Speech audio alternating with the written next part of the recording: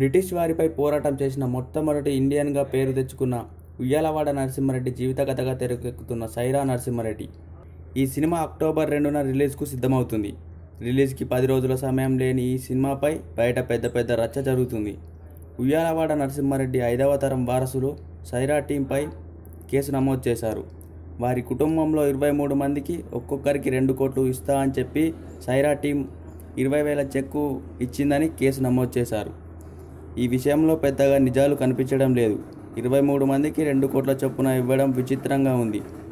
ఈ రచ్చ సినిమా రిలీజ్పై ఇబ్బంది పెట్టేలా ఉంది. మరి ఏం జరుగుతుందో చూడాలి.